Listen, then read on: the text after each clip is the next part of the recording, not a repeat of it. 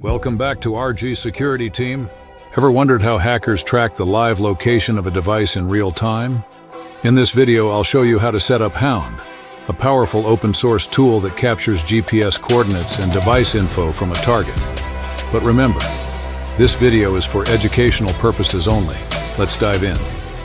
Hound is a location logging tool created by TechChip. It works by generating a tracking link.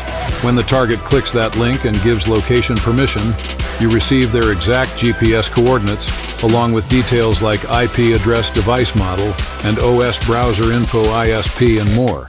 It's simple but powerful. First, download Hound from GitHub. To download it, open your terminal and enter this command. Then go to this folder. Hound uses PHP to serve the tracking page, so make sure you have PHP installed.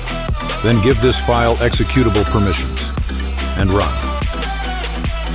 Now here, if you want to run this tool on local server, then type N and enter.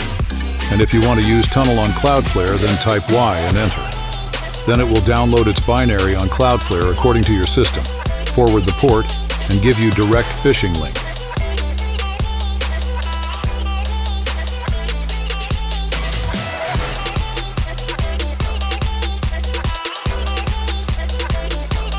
As you can see here, it has created a phishing link. Here's the live demo. I open the link on my desktop, allow location permission, and boom.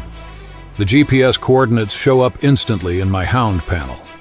Now you use your social engineering skills to deliver the link to your target. When the target clicks this link, Hound asks for permission to access their location. If granted, you'll instantly get latitude and longitude Google Maps link device information. Besides location, Hound also collects device details like my phone model, browser, and even ISP. This extra information is useful in OSINT and penetration testing, and that's how you can set up live location tracking with Hound. Again, this tool is for ethical hacking and research only. Never misuse it. If you enjoyed this tutorial, hit the like button, subscribe to RG Security Team, and comment below which tool you want me to cover next. Thanks for watching, and see you in the next video.